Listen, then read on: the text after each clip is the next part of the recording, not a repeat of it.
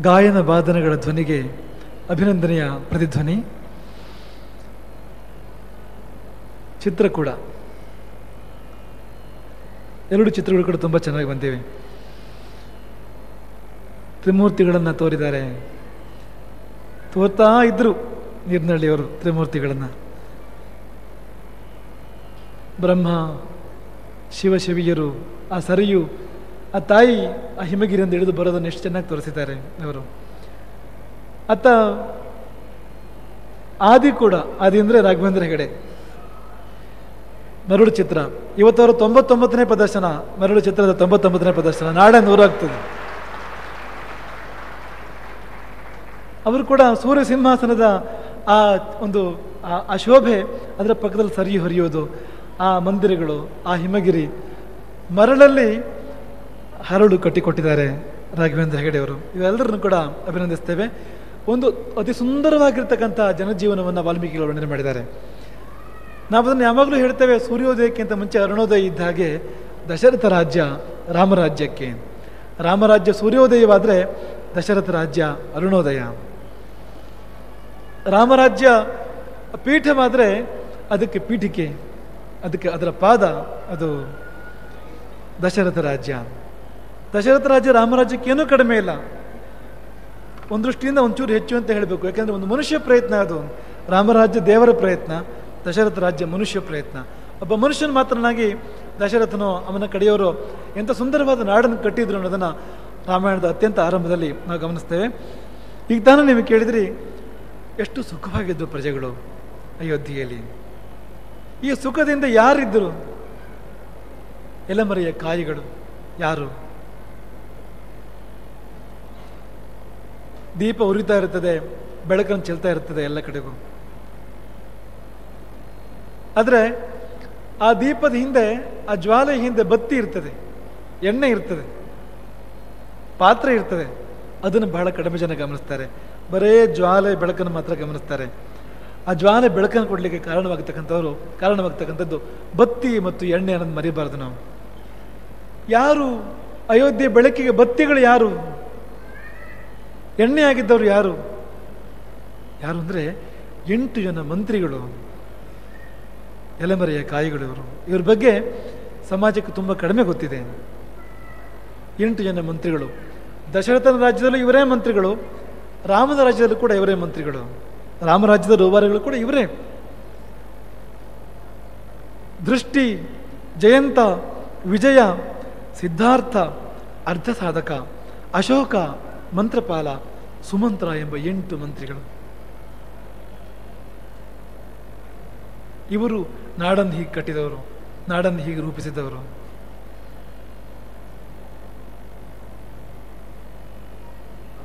ವಾಲ್ಮೀಕಿಗಳವರನ್ನ ಯಶಸ್ವಿ ಮಂತ್ರಿಗಳನ್ನು ವರ್ಣನೆ ಮಾಡ್ತಾರೆ. ಮಂತ್ರಿಗಳಾಗಿ ಅವರು ಯಶಸ್ವಿ ಅಂತ. ಅವರ ಯಶಸ್ಸನ್ನು ಗುಟ್ಟಿ ಏನು ಅಂದರೆ ಶುಚಯ. ಶುದ್ಧರಾಗಿದ್ದರು ಅವರು ಎಲ್ಲಿಯೂ ಅವರು ಮಲಿನವಾಗಲಿಲ್ಲ. ಅವರು ಭ್ರಷ್ಟರಾಗಲಿಲ್ಲ. ಭ್ರಷ್ಟರಲ್ಲದ ಮಂತ್ರಿಗಳು, ಶ್ರೇಷ್ಠ ಮಂತ್ರಿಗಳು. ರಾಜಕೃತ್ಯೇಶು ನಿತ್ಯಶಃ ಅನುರಕ್ತಾ ರಾಜಕಾರ್ಯಗಳಲ್ಲಿ ಅಂದರೆ ಪ್ರಜಾಸೇವೆಯಲ್ಲಿ ನಿತ್ಯ ಅನುರಕ್ತರು ಅಂತ. ಅವರ ಅನುರಾಗ ಅವರ ಕರ್ತವ್ಯದಲ್ಲಿ. ಅಂಥವರು ಮಾಡಬೇಕು ಅಂತ ಮಾಡೋದು ಬೇರೆ, ಇಷ್ಟಪಟ್ಟು ಮಾಡೋದು ಬೇರೆ, ಖುಷಿಪಟ್ಟು ಮಾಡೋದು ಬೇರೆ. ಅಯೋಧ್ಯೆಯ ಮಂತ್ರಿಗಳು ಇಷ್ಟಪಟ್ಟು ಮಾಡೋರು, ಪ್ರೀತಿಯಿಂದ ಮಾಡುವರು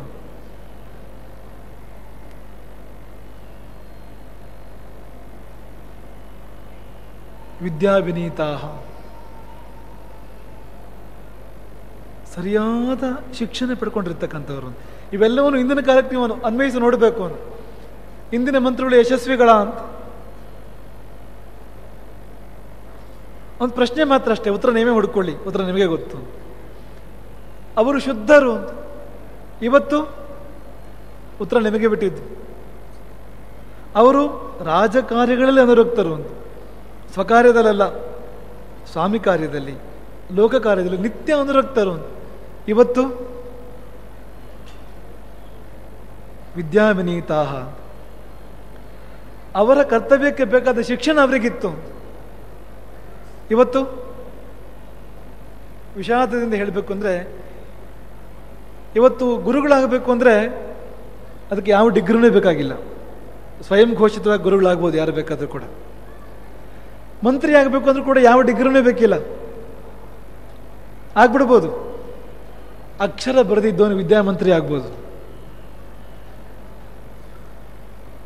ಹಣ ಎಣಸಕ್ಕೆ ಬರದೇ ಇದ್ದವನು ಹಣಕಾಸು ಮಂತ್ರಿ ಆಗ್ಬೋದು. ದೇಶದ್ರೋಹಿ ರಕ್ಷಣಾ ಮಂತ್ರಿ ಆಗ್ಬೋದು.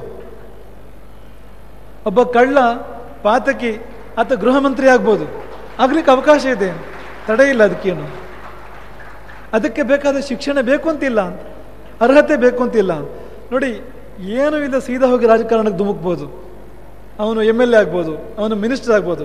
ಯಾವ ಮಿನಿಸ್ಟರ್ ಬೇಕಾದ್ರೂ ಆಗ್ಬೋದು. ಅವನು ನಿನ್ನೆ ಯಾವ ಪೊಲೀಸರು ಅತಿಥಿ ಆಗಿದ್ದನೋ ಅವನೇ ನಾಳೆ ಗೃಹ ಮಂತ್ರಿಯಾಗಿ ಬಂದು ಅದೇ ಪೊಲೀಸರಿಗೆ ಅವನು ಆರ್ಡರ್ ಆದೇಶ ಕೊಡೋ ಜಾಗದಕ್ಕೆ ಬರ್ಬೋದು. ಸಲ್ಯೂಟ್ ಹೊಡೆಯೋ ಪರಿಸ್ಥಿತಿ ಬರ್ಬೋದು. ಸಮಾಜವನ್ನು ತಿದ್ದುವ ಗುರುಸ್ಥಾನ ಇದು ಕೂಡ ಯಾವ ನಿಯಂತ್ರಣವೂ ಇಲ್ಲ. ಯಾವ ಪರೀಕ್ಷೆಯೂ ಇಲ್ಲ. ಇದ್ದಕ್ಕಿದ್ದ ಹಾಗೆ ನಂದೊಂದು ಆಶ್ರಮ ಅಂತ ಘೋಷಣೆ ಮಾಡ್ಕೊಂಡು ಕಾವ್ಯ ಬೆಟ್ಟ ತೊಟ್ಟು ನಾನೊಂದು ಗುರು ಅಂತ ಮಾಡ್ಕೊಳ್ಬೋದು ಇವತ್ತು. ಹೇಳ್ಕೊಳ್ಳೋರಿಲ್ಲ ಅದಕ್ಕೆ. ಸಮಾಜಕ್ಕೆ ಅವರು ಕಂಟಕರಾಗ್ತಾರೆ, ಮಾರಕರಾಗ್ತಾರೆ ಅಂಥವ್ರು ಹಾಗೆ ರಾಜ ಪದವಿಗಳಲ್ಲಿ ಕೂತ್ಕೊಳ್, ಕೂತ್ಕೊಳ್ತಕ್ಕಂಥವ್ರು, ರಾಜಕಾರಣಿಗಳು ಅಥವಾ ಮಂತ್ರಿ ಪದವಿಗಳು ಕೂತ್ಕೊಳ್ಳೋರು, ಅವ್ರಿಗೆ ಯಾವ ಅರ್ಹತೆ ಕೂಡ ಬೇಕಿಲ್ಲ. ಆದರೆ ಅಯೋಧ್ಯೆ ಮಂತ್ರಿಗಳ ಬಗ್ಗೆ ಹೇಳುವಾಗ ವಿದ್ಯಾ ವಿನೀತಾ ಅವರು ಯಾವ ವಿಭಾಗಕ್ಕೆ ಮಂತ್ರಿಗಳೋ ಅದಕ್ಕೆ ಸಂಬಂಧಪಟ್ಟಿರ್ತಕ್ಕಂಥ ಸಂಪೂರ್ಣ ಶಿಕ್ಷಣ ಅವರಿಗೆ ಇರ್ತಿತ್ತು. ಹ್ರೀಮ್ ಅಂತ ಅಂದರೆ ಅವರಿಗೆ ನಾಚಿಕೆ ಇತ್ತು ಅಯೋಧ್ಯೆ ಮಂತ್ರಿಗಳಿಗೆ, ಮಂತ್ರಿಗಳು ನಾಚಿಕೆ ಇಟ್ಟುಕೊಂಡವರು ಇವತ್ತು ಮಹಾತ್ಮಾನಃ ದೊಡ್ಡ ಮನಸ್ಸು, ದೊಡ್ಡ ಆತ್ಮದವರು ಅವರೆಲ್ಲರೂ ಕೂಡ. ವೀರರು ಕೂಡ ಹೌದು. ಶಸ್ತ್ರಜ್ಞಾ ದೃಢ ವಿಕ್ರಮಾ ವೀರಾ ಪ್ರಖ್ಯಾತ ಪರಾಕ್ರಮೈ, ಶಸ್ತ್ರಗಳನ್ನು ಬಲ್ಲವರು ದೃಢ ವಿಕ್ರಮರು ವೀರರು, ಪರಾಕ್ರಮದಿಂದ ಪ್ರಖ್ಯಾತರು. ಇವತ್ತು ನಮ್ಮ ರಕ್ಷಣಾ ಮಂತ್ರಿಗಳು ಎಷ್ಟೋ ಸರ್ತಿ ಅವ್ರ ಗಡಿಗಳನ್ನು ನೋಡಿರೋದಿಲ್ಲ. ಸೂಕ್ಷ್ಮವಾದ ಗಡಿ ಪ್ರದೇಶಗಳಿವೆ. ಅಂಥ ಪ್ರದೇಶಗಳಿಗೆ ನಮ್ಗೆ ಇಷ್ಟು ಇಷ್ಟು ಇಷ್ಟು ದೊಡ್ಡ ಇತಿಹಾಸದಲ್ಲಿ ಒಬ್ಬರಿಬ್ಬರು ರಕ್ಷಣಾ ಸಚಿವರನ್ನು ಬಿಟ್ಟು ಹೊಡೆದವರು ಭೇಟಿನೇ ಕೊಡಲಿಲ್ಲ. ಯುದ್ಧ ಶುರುವಾದರೆ ಇವ್ರು ಯಾರು ಯುದ್ಧ ಭೂಮಿಗಳಿಯೋರಲ್ಲ. ಇವರು ಸುರಕ್ಷಿತರಾಗಿ ಭವನದೊಳಗೆ ಇರ್ತಕ್ಕಂಥವ್ರು ಆರ್ಡರ್ ಮಾತ್ರ ಕೊಡೋಂಥವ್ರು ಯುದ್ಧಕ್ಕೆ ಆದರೆ ಅವತ್ತು ಹಾಗಲ್ಲ. ಯುದ್ಧ ಸಂಭವಿಸಿದರೆ ರಣಾಂಗಣದಲ್ಲಿ ಮುಂಚೂಣಿಯಲ್ಲಿ ನಿಂತು ಹೋರಾಡ್ತಾ ಇದ್ದ ಹೋರಾಡ್ತಾ ಇದ್ದ ಇದ್ದಂಥವರು ಅಯೋಧ್ಯೆಯ ಮಂತ್ರಿಗಳು. ಕೀರ್ತಿಮಂತಹ ಅವರ ಕೀರ್ತಿ ಎಲ್ಲೆಡೆಗೆ ಹರಡಿತ್ತು. ಯಥಾವಚನ ಕಾರಣ ನುಡಿಯಂತೆ ನಡೆ. ಅವ್ರು ಏನು ಹೇಳ್ತಿದ್ರೋ ಹಾಗೆ ಮಾಡ್ತಿದ್ರು. ಇವತ್ತು ಆಶ್ವಾಸನೆಗಳು ಅದಕ್ಕೆ ಶ್ವಾಸವೇ ಇಲ್ಲ, ಅಂತ ಆಶ್ವಾಸನೆಗಳು. ಐದು ವರ್ಷದ ನಂತರನೇ ಆಶ್ವಾಸನೆ ನೆನಪಾಗೋದು ಅಂತ. ಮತ್ತೆ ನಿಮ್ಮ ಮುಂದೆ ಬಂದಾಗಲೇ ನೆನಪಾಗೋದು. ನುಡಿಗೂ ನಡುಗೂ ಯಾವ ಸಂಬಂಧವೂ ಇಲ್ಲ. ನಿತ್ಯ ಸುಳ್ಳು. ಆದರೆ ಅಯೋಧ್ಯೆಯ ಮಂತ್ರಿಗಳು ಹಾಗಲ್ಲ. ನುಡಿದಂತೆ ನಡೆಯುವವರು, ಅದು ಮಾತ್ರ ಅಲ್ಲ, ರಾಜನ ನುಡಿಯಂತೆ ಅವರು ನಡೆ ಇರ್ತಿತ್ತು. ಪ್ರಜೆಗಳ ನುಡಿಯಂತೆ ಅವರು ನಡೆ ಇರ್ತಿತ್ತು. ಸ್ಮಿತಪೂರ್ವ ಅಭಿಭಾಷಿಣ. ಮಾತಿನ ಮೊದಲೊಂದು ನಗು ಇರ್ತಿತ್ತು. ಅಯೋಧ್ಯೆಯ ಮಂತ್ರಿಗಳಿದ್ದು. ಅಂತ ವಿನಯ ಇರ್ತಿತ್ತು, ಪ್ರೀತಿ ಇರ್ತಿತ್ತು. Body language. ಮಾತಾಡದೆ ಎಷ್ಟೋ ಮಾತಾಡಬಹುದು ನಾವು. ಒಬ್ಬ ಸಾಮಾನ್ಯ ಪ್ರಜೆ, ಅವನು ಯಾವ ದೊಡ್ಡ ಅಧಿಕಾರಿಯೋ ಅಲ್ಲ, ಯಾವ ದೊಡ್ಡ ಪಂಡಿತನೋ ಅಲ್ಲ, ಅಂಥವನು ಕೂಡ ಬರಬಹುದು ಅಯೋಧ್ಯೆ ಮಂತ್ರಿಗಳ ಬಳಿಯಲ್ಲಿ, ಮಾತಾಡಬಹುದು. ಅವನಿಗೂ ಗೌರವ ಇದೆ ಅಲ್ಲಿ, ಅವನಿಗೂ ಪ್ರೀತಿ ಸಲ್ತದೆ ನಕ್ಕು ಮಾತಾಡುವರು ಎಲ್ಲವನ್ನೂ ಬಲ್ಲವರು ಅವರಿಗೆ ಗೊತ್ತಿಲ್ಲದಿಲ್ಲ. ಗುಪ್ತಚರರ ಮೂಲಕವಾಗಿ ಎಲ್ಲವನ್ನು ತಿಳ್ಕೊಳ್ಳೋರು. ಒಳಗೆ, ಹೊರಗೆ, ರಾಜ್ಯದ ಒಳಗೆ, ಹೊರಗೆ ಏನು ನಡೀತಾ ಇದೆ ಏನು ನಡೀತಾ ಇದೆ? ಏನು ನಡೆದಿದೆ? ಏನು ನಡಿಲಿಕ್ಕಿದೆ? ಇವೆಲ್ಲವನ್ನು ಗುಪ್ತಚರರ ಮೂಲಕವಾಗಿ ಅರಿಯಬಲ್ಲವರು. ವ್ಯವಹಾರದಲ್ಲಿ ಕುಶಲರು. ಹಾಗಂತ ಮೋಸ ಮಾಡೋರಲ್ಲ. ಸೌಹೃದೇಶ ಪರೀಕ್ಷಿತ ಪರೀಕ್ಷೆಗೊಳಪಟ್ಟವರು ಹಲವು ಬಾರಿ ಅರಸೊತ್ತಿಗೆ ಪರೀಕ್ಷೆ ಮಾಡಿದೆ ಮಂತ್ರಿಗಳನ್ನು ಪ್ರತಿ ಪರೀಕ್ಷೆಯಲ್ಲೂ ಕೂಡ ಅವರು ಪ್ರತಿ ಪರೀಕ್ಷೆಯಲ್ಲೂ ಕೂಡ ಮತ್ತಷ್ಟು ಎತ್ತರಕ್ಕೆ ಏರಿದವರು, ಮತ್ತಷ್ಟು ಮೇಲಕ್ಕೆ ಬಂದಿರತಕ್ಕಂಥವ್ರು. ಒಂದೊಂದು ಪರೀಕ್ಷೆ ಕೂಡ ಹೊಸ ಡಿಗ್ರಿ ಕೊಡುತ್ತೆ, ಕೊಡಬೇಕು. ನಾವು ಚೆನ್ನಾಗಿ ಓದ್ಕೊಂಡಿದ್ರೆ ಪ್ರತಿ ಪರೀಕ್ಷೆಯೂ ನಮಗೆ ಪದೋನ್ನತಿ ಕೊಡಬೇಕು. ಅಯೋಧ್ಯೆ ಮಂತ್ರಿಗಳು ಕೂಡ ಹಾಗೆ. ಒಂದೊಂದು ಪರೀಕ್ಷೆ ಕೂಡ ಅವರನ್ನು ಮತ್ತಷ್ಟು ಎತ್ತರದಲ್ಲಿ ತೋರಿಸ್ತಾ ಇತ್ತು. ಕೋಶ ತುಂಬಿಸಿದ್ರು ಸಂಪತ್ತಿನ ಮೂಲಕವಾಗಿ.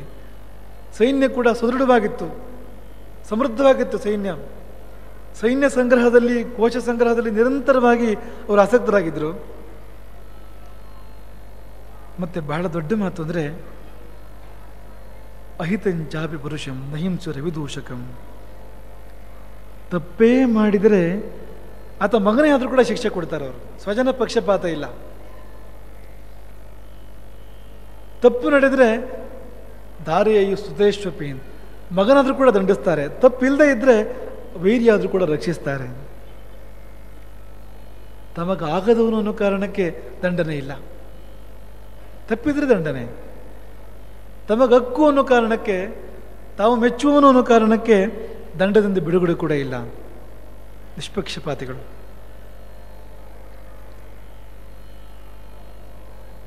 ಒಳ್ಳೆಯವರು ಯಾರು ಪ್ರಜೆಗಳಲ್ಲಿ? ಅಂಥವರಿಗೆ ನಿತ್ಯ ರಕ್ಷಣೆ ಸಿಗ್ತಾ ಇತ್ತು. ಯಾವ ಆಪತ್ತು ಇಲ್ಲ. ಕೋಶ ತುಂಬಿಸಿದ್ರು ಅದು ಯಾರಿಗೂ ಹಿಂಸೆ ಕೊಡಲಿಲ್ಲ. ಕರಭಾರವಾಗಲಿಲ್ಲ ಅಂತ. ಭಾರವಿಲ್ಲದೆಯೇ ಪ್ರಜೆಗಳನ್ನು ಪೀಡಿಸದೆಯೇ ಕೋಶವನ್ನು ತುಂಬಿದರು.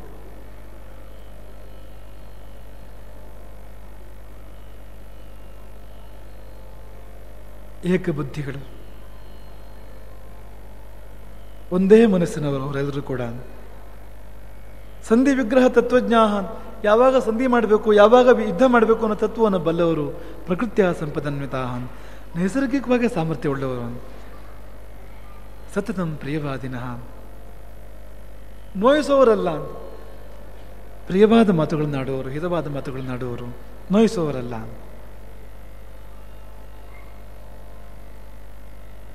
ಅವರ ಆಳ್ವಿಕೆಯಲ್ಲಿ ನಾಡಿನಲ್ಲಿ ದುಷ್ಟದಿಲ್ಲದಂತೆ ನಾಡಿನಲ್ಲಿ ಪರಸ್ತ್ರೀ ಲಂಪಟದಿಲ್ಲದಂತೆ ನಾಡಿನಲ್ಲಿ ಅಶಾಂತಿ ಇಲ್ಲದಂತೆ ನೋಡಿಕೊಂಡ್ರು ಅಂತಹ ಅಯೋಧ್ಯೆಯ ಮಂತ್ರಿಗಳು. ಅವರ ಒಂದು ದೊಡ್ಡ ಗುಣ ಅಂದರೆ ಪರಸ್ಪರ ಅನುರಕ್ತಾಹ. ಅವರಿಗೆ ರಾಜನಲ್ಲಿ ಪ್ರೀತಿ ಇತ್ತು, ಪರಸ್ಪರ ಪ್ರೀತಿ ಇತ್ತು, ಪ್ರಜೆಗಳಲ್ಲಿ ಪ್ರೀತಿ ಇತ್ತು. ಇವತ್ತು ಅದನ್ನು ಕೂಡ ನಾವು ಕಾಣೋದಿಲ್ಲ. ಪರಸ್ಪರ ಪ್ರೀತಿ ಇಲ್ಲ. ಇವತ್ತು ಮಂತ್ರಿಗಳ ಸ್ಥಾನಕ್ಕೆ ಯಾರು ಬರ್ತಾರೆ? ಆ ಮೊದಲು ನಡೆಯೋದೇ ಜಗಳ. ನೀವು ಪತ್ರಿಕೆ ತೆಗೆದು ನೋಡಿ, ಇವರು ಅವ್ರನ್ನ ಬೈದರು, ಅವ್ರು ಇವ್ರನ್ನ ಬೈದರು. ಇವರು ಅವ್ರ ವಿರುದ್ಧ ಪಿತೂರಿ ಮಾಡಿದರು, ಅವ್ರು ಇವ್ರ ವಿರುದ್ಧ ಪಿತೂರಿ ಮಾಡಿದರು. ಅದೇ ಕೆಲಸ, ಬೇರೆ ಕೆಲಸವೇ ಇಲ್ಲ. ಇಪ್ಪತ್ನಾಲ್ಕು ಗಂಟೆಯಲ್ಲಿ ಇಪ್ಪತ್ತ್ಮೂರುವರೆ ಗಂಟೆ ಕಿತ್ತಾಟ. ಇನ್ನು ಅರ್ಧ ಗಂಟೆಯಲ್ಲಿ ಎಲೆಕ್ಷನ್ ಇರಬೇಕು ಅದನ್ನ ಮಾಡೋ ಅಂತಷ್ಟೇ. ಅಂಥದ್ದಾಗಿದೆ ಇವತ್ತಿನ ವಾತಾವರಣ. ಆದರೆ ಅಯೋಧ್ಯೆ ಮಂತ್ರಿಗಳು ಹಾಗಲ್ಲ. ಪರಸ್ಪರಲ್ಲಿ ಪ್ರೀತಿ ಇತ್ತು. ಪರಸ್ಪರರಲ್ಲಿ ವಿಶ್ವಾಸ ಇತ್ತು. ಪ್ರಜೆಗಳಲ್ಲಿ ಇತ್ತು ಮತ್ತು ರಾಜನಲ್ಲಿ ಇತ್ತು. ಹೀಗೆ ಎಲ್ಲೆಡೆ ಪ್ರೀತಿಯನ್ನು ಕಂಡಿರ್ತಕ್ಕಂಥ ರಾಮನ ಪೂರ್ವ ಅವತಾರ ಪ್ರೇಮ ಅವತಾರ ಅಂಥವ್ರು ಅವರು. ಅಯೋಧ್ಯೆಯ ಪ್ರಜೆಗಳು. ಇವತ್ತಿನ ಕಾಲದಲ್ಲಿ ಯಾರಿಲ್ಲ ಅಂತಿಲ್ಲ ವಿಶ್ವೇಶ್ವರಯ್ಯನವರು ನೆನಪು ಮಾಡ್ಕೊಳ್ಳಿ. ಅವರಂಥವ್ರು, ವಿಶ್ವೇಶ್ವರಯ್ಯನವರು. ಈ ಸಾಲಿಗೆ ಸೇರ್ತಕ್ಕಂಥವ್ರು ಅವರು. ನಾವು ಪುನಃ ಆ ಕಂ, ಆ ತುಲನೆಗೆ ಬರೋದಾದರೆ, ಈ ಮೈಸೂರಿನ ಅರಮನೆಗೆ ಬರೋದಾದರೆ, ಅಯೋಧ್ಯೆ ಅರಮನೆ, ಮೈಸೂರಿನ ಅರಮನೆ ಒಂದು ಹೋಲಿಕೆ, ಅದು ಕೂಡ ಹೌದು. ಅಲ್ಲಿಯ ಮಂತ್ರಿಗಳ ಹಾಗೆ ಇಲ್ಲಿ ಕೂಡ ಮಂತ್ರಿಗಳಿದ್ದರು ವಿಶ್ವ, ವಿಶ್ವೇಶ್ವರಯ್ಯನ, ವಿಶ್ವೇಶ್ವರಯ್ಯನವರಂಥವರು. ವಿಶ್ವೇಶ್ವರಯ್ಯನವರು ಲಾಬಿ ಮಾಡಿ ಬರಲಿಲ್ಲ ಮಂತ್ರಿ ಪದವಿಗೆ. ಅವರನ್ನು ಅರಮನೆ ಕರೀತು, ಮಂತ್ರಿಗಳಾಗಿ ಬನ್ನಿ ಅಂತ. ಅವರು ಒಪ್ಕೊಳ್ಳಿಲ್ಲ, ಕರಾರು ಹಾಕ್ತಾರೆ ಅವರು. ಶಿಕ್ಷಣದಲ್ಲಿ, ಅಭಿವೃದ್ಧಿಯಲ್ಲಿ ನನಗೆ ಮುಕ್ತ ಹಸ್ತ ಕೊಡಬೇಕು, ಹಾಗಿದ್ರೆ ಮಾತ್ರ ಬರ್ತೇನೆ ಇಲ್ಲಾಂದ್ರೆ ಬರೋದಿಲ್ಲ, ಸಂಬಳಕ್ಕಾಗಿ ಬರೋದಿಲ್ಲ ಅರಮನೆಗೆ ಒಬ್ಬ ಸಾಮಾನ್ಯ ಮನುಷ್ಯ ಷರತ್ತು ಹಾಕ್ತಾನೆ. ಅರಮನೆ ಕರೆಯುತ್ತೆ, ಮಂತ್ರಿಯಾಗಿ ಬಾ ಒಬ್ಬ ಸಾಮಾನ್ಯ ಮನುಷ್ಯನ ಕರೆಯುತ್ತೆ, ಒಬ್ಬ ಸಾಮಾನ್ಯ ಇಂಜಿನಿಯರ್ನ ಕರೆಯುತ್ತೆ ಅರಮನೆ. ಆ ಅರಮನೆ ಹೇಗಿತ್ತು ನೋಡಿ? ರಾಜರೇ ಹೇಗಿದ್ರು ನೋಡಿ, ಕೃಷ್ಣರಾಜ ಒಡೆಯರು, ನಲ್ವಡಿ ಕೃಷ್ಣರಾಜ ಒಡೆಯರು. ಆದರೆ ಮಂತ್ರಿ ಆಗಲಿಕ್ಕೆ ಯಾರಿಗೆ ಆಫರ್ ಬಂದಿದೆ? ಅವರು ಷರತ್ತು ಹಾಕ್ತಾರೆ ಅಭಿವೃದ್ಧಿ ಕಾರ್ಯದಲ್ಲಿ ಮುಕ್ತ ಹಸ್ತ ಕೊಡೋದಾದ್ರೆ ಮಾತ್ರ ಬರ್ತೇನೆ ಇವತ್ತು ಮಂತ್ರಿಗಳಾಗೋದು ಅಂದರೆ ಅದು ಯಾವ್ಯಾವ ಬಾಗಿಲೊಳಗೆ ಮಂತ್ರಿಗಳಾಗ್ತಾರೋ, ಹಿಂದಿನ ಬಾಗಿಲು, ಮುಂದಿನ ಬಾಗಿಲು ಯಾವ್ಯಾವ ಥರದ ಸೀಟುಗಳು ಇರ್ತಾವೋ ಅಲ್ಲಿ ಮೆರಿಟ್ ಸೀಟು ಪೇಮೆಂಟ್ ಸೀಟು, ಬೇರೆ ಬೇರೆ ಥರದ್ದು ಮಂತ್ರಿಗಳಾಗಲಿಕ್ಕೆ ಬೇರೆ ಬೇರೆ ಥರದ ಮಾಧ್ಯಮಗಳು ಅಂತ. ಆದರೆ ವಿಶ್ವೇಶ್ವರಯ್ಯನ ನೋಡಬೇಕು ನಾವು. ಲಾಭಿ ಇಲ್ಲ, ಲಾಭದ ಆಸೆ ಇಲ್ಲ. ಅವ್ರು ಎಂಥವ್ರು ಅಂದರೆ ಅವರಿಗೆ ಎರಡು ಕಾರು ಅವ್ರು ಬಳಸ್ತಾ ಇದ್ದಿದ್ದು. ಆಫೀಸಿಂದ ಮನೆಗೆ, ಮನೆಯಿಂದ ಆಫೀಸಿಗೆ ಆಫೀಸಿನ ಕಾರು. ಅದು ಬಿಟ್ಟು ಬೇರೆ ಕಡೆ ಹೋದಾದರೆ ಸ್ವಂತ ಕಾರು. ನಾವು ಕೇಳ್ತೇವೆ, ಎರಡು ಮೇಣದ ಬತ್ತಿಯವರು ಅಂತ. ಚಾಣಕ್ಯನ ಬಗ್ಗೆನೂ ಕೇಳ್ತೇವೆ ಈ ಮಾತನ್ನು. ವಿಶ್ವೇಶ್ವರಯ್ಯನವರ ಬಗ್ಗೆ ಬಗ್ಗೆ ಕೂಡ ಕೇಳ್ತೇವೆ. ರಾಜಕಾರಿಗಳಿದ್ರೆ ಮೇಣದ ಬತ್ತಿ ಬೇರೆ, ಅದು ಸರ್ಕಾರದ್ದು ಸ್ವಂತ ಕೆಲಸ ಇದ್ದರೆ ಆ ಮೇಣದ ಬತ್ತಿ ಆರಿಸಿ, ಸ್ವಂತದ ಮೇಣದ ಬತ್ತಿ ಹಚ್ಚಿ, ಅದನ್ನು ಉಳಿಸಿ ಸ್ವಂತದ ಕೆಲಸ ಮಾಡ್ತಾ ಇದ್ದಂಥ ಆ ಮಟ್ಟದ ಪ್ರಾಮಾಣಿಕತೆ ಅವರುಗಳು ಚಾಣಕ್ಯರ ಬಗ್ಗೆ ಕೂಡ ಕೇಳ್ತೇವೆ ಚಂದ್ರಗುಪ್ತ ಹೋಗಿ ಭೇಟಿ ಮಾಡ್ತೇನೆ ಚಾಣಕ್ಯರನ್ನ. ಸ್ವಾಭಾವಿಕ ಮಾತಾಡಿ, ಮಾತುಕತೆ ಪ್ರಾರಂಭ ಆಗ್ತಿದ್ದಾಗನೇ ಆ ಮೇಣದ ಬತ್ತಿ ಉರಿಸಿ ಆ- ಆ ದೀಪ ಆರಿಸಿ ಇನ್ನೊಂದು ದೀಪ ಉರಿಸ್ತಾನೆ ಚಾಣಕ್ಯ. ಯಾಕೆಂದ್ರೆ ಈ ನಾವು ಆಡ್ತಿರೋ ಮಾತುಕತೆ ರಾಜ್ಯಕ್ಕೆ ಸಂಬಂಧಪಟ್ಟಿದ್ದಲ್ಲ, ನಮ್ಮ ಲೋಕಾಭಿರಾಮ ಇದು. ಇದಕ್ಕೆ ಆ ರಾಜ್ಯದ ದೀಪ ಬೇಕು ಅಂತಿಲ್ಲ, ರಾಜ್ಯದ ಬೊಕ್ಕಸ ಒಂದು ಖರ್ಚಾಗಬಾರ್ದು ಅದಕ್ಕೆ ಅಂತ. ಅಂಥ ಪ್ರಾಮಾಣಿಕತೆ ವಿಶ್ವೇಶ್ವರನಲ್ಲೂ ಕೂಡ ಇತ್ತು. ಕೇವಲ ಆರು ವರ್ಷ ಮಂತ್ರಿಯಾಗಿದ್ದು ವಿಶ್ವೇಶ್ವರಯ್ಯ. ಆರು ವರ್ಷದಲ್ಲಿ ಅವರು ಮಾಡಿದ ಬದಲಾವಣೆ ಅತ್ಯದ್ಭುತ. ಅವರು ಅಷ್ಟು ದೊಡ್ಡ ಬದಲಾವಣೆ ಮಾಡ್ತಾರೆ ಅವರು, ವಿಶ್ವೇಶ್ವರಯ್ಯ. ಹಾಗಾಗಿ ಎಲ್ಲವನ್ನೂ ಒಂದು, ಇಂದು ಒಂದು ಇಂದು ಒಂದು, ಇಂದು ನೋಡ್ಬೇಕು ನಾವು. ಪ್ರಜೆಗಳು ಅವ್ರು ಹಾಗಿದ್ರು ಅವತ್ತು. ಆ ಪ್ರಜೆಗಳು, ನಾವು ಹೇಗಿದ್ದೇವೆ ಇವತ್ತು? ನಮ್ಮ ಕಥೆ ಏನು ಇವತ್ತು? ವ್ಯಥೆ, ನಮ್ಮ ಕಥೆ.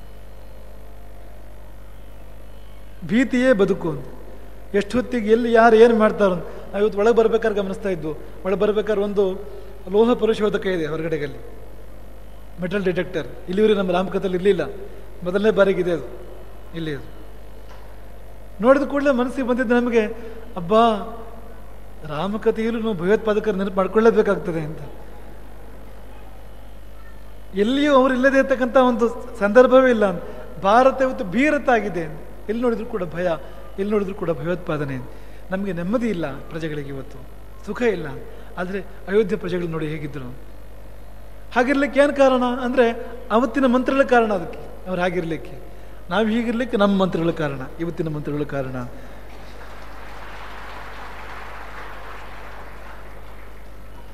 ಈಗೊಂದು ಪುಟ್ಟ ಒಂದು ಜಿಜ್ಞಾಸೆ ಒಂದು. ಇಷ್ಟೆಲ್ಲ ಕೇಳಿದ ಮೇಲೆ ಆ ಮಂತ್ರಿಗಳ ಬಗ್ಗೆ ನಮಗೆ ತುಂಬ ಗೌರವ ಬರುತ್ತೆ, ಅಯೋಧ್ಯೆ ಮಂತ್ರಿಗಳ ಬಗ್ಗೆ.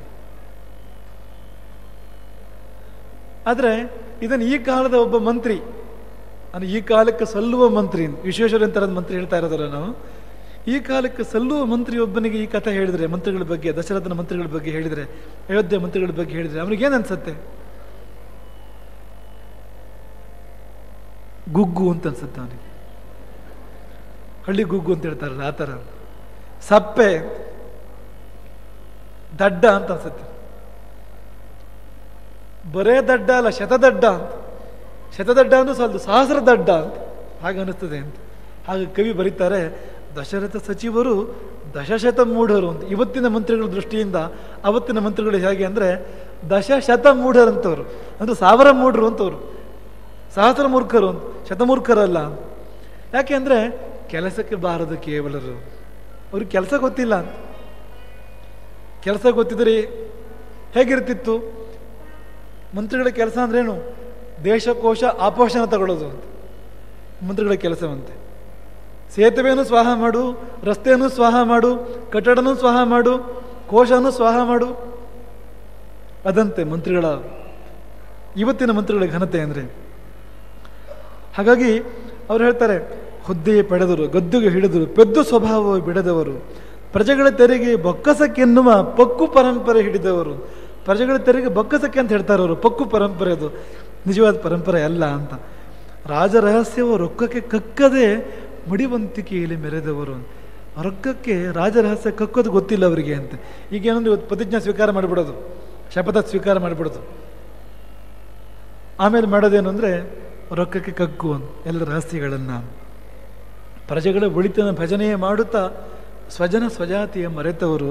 ಇವರೇನು ಮಂತ್ರಿಗಳು ಅಂತ ಅಂದಿನ ಮಂತ್ರಿಗಳ ಬಗ್ಗೆ ಇಂದಿನ ಮಂತ್ರಿಗಳಿಗೆ ಅನಿಸತ್ತಂತೆ. ಇದೊಂದು ಗೀತ, ಈ ಗೀತ ಬಹುಶಃ ನೀರಿನಳ್ಳಿಗೂ ಸುಗ್ರಾಸ ಭೋಜನ ಅಂತ ಅನಿಸುತ್ತೆ. ಯಾಕೆಂದರೆ ಅವರು ರಾಜಕಾರಣಿಗಳ ಬಗ್ಗೆ ಭಾಳ ಪ್ರೀತಿ ಇಟ್ಕೊಂಡಿರೋರು. ನಮ್ಮ ಬಗ್ಗೆ ತುಂಬ ಪ್ರೀತಿ ಇದೆ ನೀರಿನಹಳ್ಳಿಗೆ. ಒಂಚೂರು ಜಾಸ್ತಿ ಪ್ರೀತಿ ರಾಜಕಾರಣಿಗಳ ಬಗ್ಗೆ. ಈ ನಮ್ಮ ಚಿತ್ರ ಬೆಳೆಸಿದ್ರೆ ರಾಮನ ಚಿತ್ರ ಬೆಳೆಸಿದ್ರೆ ಒಂದು ಎರಡು ನಿಮಿಷ ಜಾಸ್ತಿ ಬೇಕು ಅವರಿಗೆ. ರಾಜಕಾರಣಿಗಳ ಚಿತ್ರ ಬೆಳೆಸೋದು ಹೀಗೀಗಂದ್ರೆ ಚಿತ್ರ ಆಗಿಬಿಡ್ತದೆ. ಕೂಡಲೇ ಒಂದು ಟೋಪಿ, ಒಂದು ಒಂದು ಖಾದಿ ಬಂದ್ಬಿಡ್ತದೆ ತಕ್ಷಣ ಅಂತ. ಅವ್ರಿಗೆ ಬಹಳ ಪ್ರೀತಿ ಆಗುವಂಥ ಚಿತ್ರ ಆಗ್ಬೋದು ಇದು. ದಶರಥ ಸಚಿವರು ದಶ ಶತ ಮೂಢರಂತೆ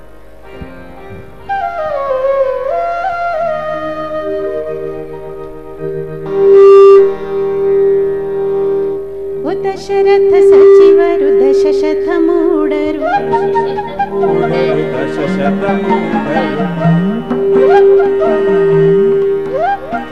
ದಶರಥ ಸಚಿವರು ದಶಶತ ಮೂಡರು ದಶಶತ ಮೂಡರು ದಶಶತ ಮೂಡರು ಕೆಲಸಕ್ಕೆ ಬಾರದ ಕೇವಲರು. ಕೆಲಸಕ್ಕೆ ಬಾರದ ಕೇವಲರು. ದೇಶಕೋಶ ಆಪೋಷಣಗೈಯದೆ ದೇಶಕೋಶ ಆಪೋಷಣಗೈಯದೆ ನಾಶದ ಹಾದಿಗೆ ಬಿತ್ತವರು ನಾಶದ ಹಾದಿಗೆ ಬಿದ್ದವರು ನಾಶದ ಹಾದಿಗೆ ಬಿದ್ದವರು. ದಶರಥ ಸಚಿವರು ದಶಶತ ಮೂಢರು. ದಶಶತ ಮೂಢರು ದಶಶತ ಮೂಢರು. भारत केल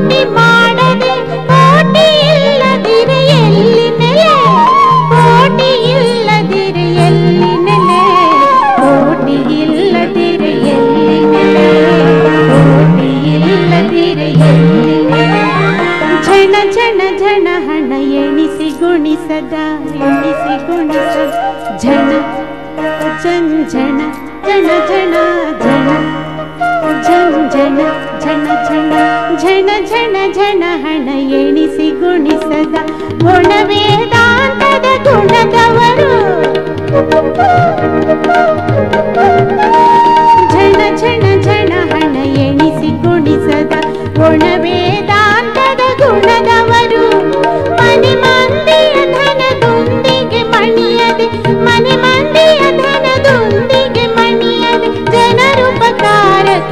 ಜನರುಪಕಾರಕ್ಕೆ ತಣಿವವರು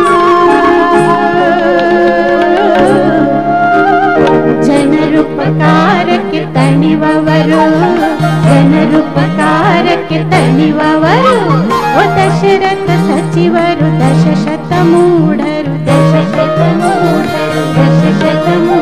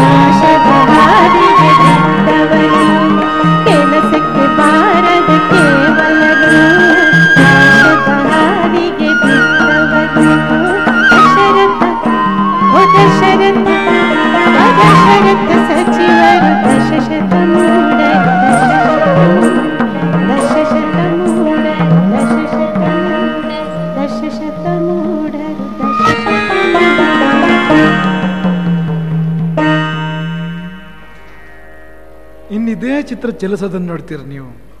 ಇದೇ ಚಿತ್ರ. ಅಂದು ಮತ್ತು ಇಂದು. ಅಧಿಕಾರ, ರಾಜ್ಯ ಆಳುವವರು ಅಂದು ಹೇಗೆ, ಇಂದು ಹೇಗೆ ಅನ್ನೋದನ್ನು ರೂಪಕದ ರೂಪದಲ್ಲಿ ನೋಡುವ ಹೊತ್ತು ಬಂದಿದೆ ಈಗ. ಅಂದು ರಾಮನ ಒಂದು ಉದಾಹರಣೆ. ಇನ್ನೇನು ಅಧಿಕಾರಕ್ಕೆ ಬರಬೇಕು ಅವನು? ಅಧಿಕಾರ ತಪ್ಪಿತು, ಆದರೆ ಬೆತಿಸಲಿಲ್ಲ ಮರು ಮಾತಾಡದೆ ಹೊರಡ್ತಾನೆ ಕಡೆಗೆ. ಹೋಗುವಾಗ ತನ್ನ ಸರ್ವಸ್ವ ವಿತರಣೆ ಮಾಡ್ತಾನೆ. ಪತ್ನಿ ಸೀತೆ ಸಾತಿಯಾಗಿ ಜೊತೆಗೆ ಬರ್ತಾಳೆ ಅವಳು ಕಾಡಿಗೆ. ತುಂಬ ಒಂದು ರೋಚಕ ಸಂದರ್ಭ ಅದು. ವಿತ್ತ ವಿಶ್ರಾಣ ಅಂತ ರಾಮಾಯಣದ ಒಂದು ಸಂದರ್ಭ ಅದು. ಕಾಡಿಗೆ ಹೊರಟ ರಾಮ ತನ್ನ ಸರ್ವಸ್ವವನ್ನು ದಾನ ಮಾಡಬೇಕು ಅಂತ ಇರಲಿಲ್ಲ. ದಾನ ಮಾಡಿಬಿಡ್ತಾನೆ. ಇವತ್ತು ಅದೇ ಸಂದರ್ಭ ಬಂದರೆ ಅದಕ್ಕಾದ ಕೆಳಗಿಳಿಯ ಸಂದರ್ಭ ಬಂದರೆ ಆಳುವವನು ಹೇಗೆ ವರ್ತಿಸ್ತಾನೆ, ಅವನ ಪತ್ನಿ ಹೇಗೆ ವರ್ತಿಸ್ತಾಳೆ, ಅಂದು ಇಂದು ಎರಡನ್ನೂ ಸಮನ್ವಯ ಮಾಡಿರ್ತಕ್ಕಂಥ ಒಂದು ಒಂದು ಹೊಸ ಪ್ರಯೋಗದ ರೂಪಕವನ್ನು ಒಂದು ಕಡೆ ತುಂಬ ಗಾಂಭೀರ್ಯ, ತುಂಬ ಉದಾತ್ತತೆ, ತುಂಬ ಔನ್ನತ್ಯ, ಮತ್ತೊಂದು ಕಡೆಗೆ ಇವತ್ತಿನ ಸಮಾಜ, ಇವತ್ತಿನ ವಾತಾವರಣ ಹೇಗಿದೆಯೋ ಅದೇ ಆಳ, ಅದೇ ಅದೇ ಒಂದು ಪ್ರಪಾತ. ಅದೆರಡನ್ನು ತೋರಿಸ್ತಕ್ಕಂಥ ಒಂದು ರೂಪಕವನ್ನು ನಾವೀಗ ನೋಡಿದ ಮೇಲೆ ಜಯ ಜಯ ರಾಮ ಕಥಾಕ್ಕೆ ನಾವು ಮುಂದಕ್ಕೆ ಹೋಗಬೇಕು. ಇದೊಂದು ವಾತಾವರಣದ ವರ್ಣನೆ ಇದು. ಅಂದರೆ ರಾಮ ಬರೋಕ್ಕಿಂತ ಮುಂಚೆ, ರಾಮಾವತಾರಕ್ಕಿಂತ ಮುಂಚೆ ಏನು ವಾತಾವರಣ ಇತ್ತು? ಯಾವ ಸಮೃದ್ಧಿ, ಯಾವ ಪೂರ್ಣತೆ ಇತ್ತು? ಆದ್ರೇನು ಕೊರತೆ ಇತ್ತು? ಅನ್ನೋದರ ವರ್ಣನೆಯ ಒಂದು ಪೂರ್ವ ಭಾಗದಲ್ಲಿ ನಾವಿದ್ದೇವೆ. ನಾಳೆ ಇಲ್ಲಿಂದ ಮುಂದುವರಿಬೇಕಾಗಿದೆ ಒಟ್ಟು ಅಯೋಧ್ಯೆ, ಒಟ್ಟು ಕೋಸಲ, ಒಟ್ಟು ಪ್ರಪಂಚ ಅವತ್ತು ಹೇಗಿತ್ತು? ರಾಮ ಹೇಗೆ ಅವ್ಯಕ್ತವಾಗಿದ್ದ? ಮತ್ತೆ ಹೇಗೆ ರಾಮ ಹಿಡಿದು ಬಂದ? ಅನ್ನೋದನ್ನು ವರ್ಣನೆ ಮಾಡುವ ಪೂರ್ವಭಾವಿ ಹಂತ ಇದು. ಈಗ ನಾವು ರೂಪಕದ ರೂಪವನ್ನು, ಅದರ ವಿಶ್ವರೂಪವೋ, ವಿರೂಪವೋ, ಸ್ವರೂಪವೋ, ಅದನ್ನು ಈಗ ನೋಡೋಣ. ರೂಪಕ ಅಂದು ಇಂದು. ನಾಡು ಆಳುವವರು ಅಂದು ಇಂದು.